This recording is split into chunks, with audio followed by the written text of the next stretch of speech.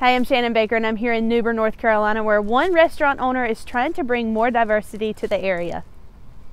My name is Siri. I'm the owner of Kuma and Thaiangel. We opened the restaurant Thai Thaiangel for about four years now. My parents, Sombat and Dang, used to own a restaurant for over 15 years and we got opportunity to come to downtown so I think that's a really great location and we just, you know, really excited to open and it turned out really well and we have success business and regular customer and I just searched it like actually on Google like um, what would be a good name for the town of New Bern? And the meaning is like you know bear is a symbol. So I searched okay what is bear in Japanese? And it's Kuma. It's like huh I like this name. It's short and simple. So this really special to me because it's like our passion. Restaurant is our passion. Like we want um, customer to come in, enjoy the food with high quality, good service. I think it went really well. We were really stressed. Um, we have to work out on the system a little bit more, but I think everyone's last night was really happy and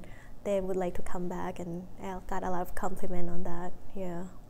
My parents love to cook, so they always cooking a lot and it's like family it's not really like working it's like spending time with family a lot of time yeah. So like my workers we don't treat them like actually worker with like friends and family and everyone happy and enjoy working here and a lot of people have been here for many years and yeah you know just passion and we love what we do so the sushi chef here also are family friends and she make great sushi. She have experience for like over 10 years. She and her husband um, Janya and Nylat have um, a lot of experience with sushi and yeah, they're part of the family too. So I'm uh, Geoffrey with a G.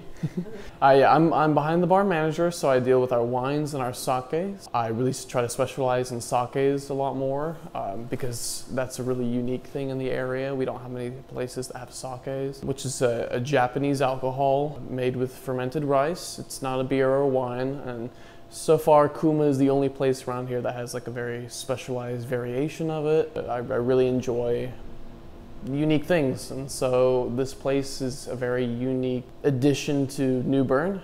Something exotic. Um, I love downtown. Downtown New Bern has a lot when it comes to food, but it lacks in a lot of variety. The owner of Siri, she owns Thaiangel next door, and I think Thaiangel is great for downtown, and so is Kuma because they're just something that we don't have. We have very high-end, authentic sushi made by professional chefs and also imported wine and a lot of really good sake. So in the end, we're hoping to add variation to downtown, something that you can't get anywhere else here in New Bern.